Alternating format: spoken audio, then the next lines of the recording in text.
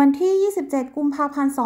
2566 จากกรณีสมาชิก Facebook รายหนึ่ง ได้โพสต์แจ้งข่าวเศร้า ผ่านทางกลุ่มคนรักบุฟเฟ่โดยข้อความระบุว่า เศร้าครับข้าวแกง 99 บาทพระราม 5 ปิดถาวรแล้ว ร้านดีๆ คุณภาพแบบนี้เสียดายภายหลังจากที่โพสต์ดังกล่าวถูกเผยแพร่ออกไป มีสมาชิกในกลุ่มจำนวนมากเข้ามาแสดงความคิดเห็น โดยส่วนใหญ่รู้สึกเสียใจที่ร้านถูกปิดไป เพราะเสียดายร้านข้าวแกงคุณภาพดี บางส่วนเข้ามาสอบถามถึงสาเหตุที่ร้านต้องปิดตัวลงโดยทางร้านได้เข้ามาคอมเมนต์พร้อมชี้แจงว่า ขอขอบคุณทุกคำถามนะคะ ทางเราพยายามแล้วทำยังไงก็ไม่ได้กำไรเลย ตั้งแต่เปิดมา 5 เดือน 22 วัน ขาดทุนไป 3 ล้านกว่า แบกรับต้นทุนที่สูงขึ้นไม่ไหว